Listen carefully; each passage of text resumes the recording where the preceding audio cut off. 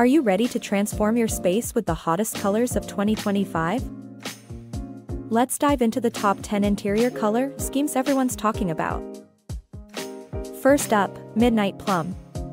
This rich, deep purple creates an intimate, luxurious vibe, perfect for bold bedrooms and moody living rooms. Next, Sage Green. Calming, earthy, and versatile, this color connects indoor spaces with nature. Perfect for a relaxing, balanced home. Then there's Sunset Coral. Bright but warm, it adds energy without overwhelming. Ideal for accent walls or smaller rooms. Fourth, Charcoal Black. Sophisticated and dramatic. It pairs beautifully with metallic accents for a chic, modern look.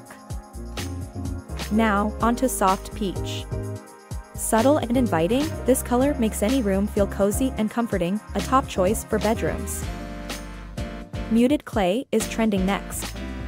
This earthy red brings warmth without overpowering. Great for kitchens or dining rooms. Seventh on the list, Cool Slate Blue. It's calming, contemporary, and pairs well with whites and grays, perfect for a clean, serene bathroom. Golden Ochre takes the 8th spot. Warm and uplifting, this color brings sunshine indoors, ideal for open, communal spaces. The ninth must-try color? Eucalyptus Gray. Elegant with a touch of green, it gives depth without darkening your space.